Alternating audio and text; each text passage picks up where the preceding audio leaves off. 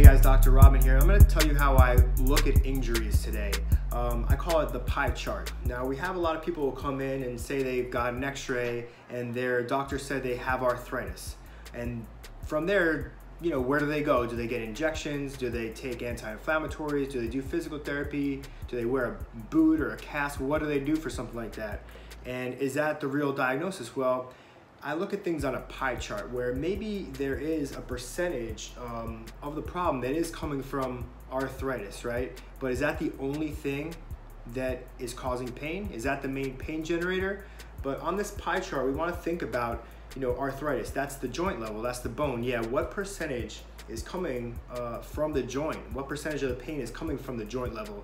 What percentage is coming from the muscle, the tendon, the ligament, the nerve, you know, what percentage is coming from nutritional issues or deficiencies? What percentage is coming from genetics or lifestyle? So we want to look at all of those things because if we do have someone who has a diagnosis of arthritis, right? But maybe that's 20% of their problem. Maybe 50% is coming from a tendon issue or a muscle tension or ligament tension.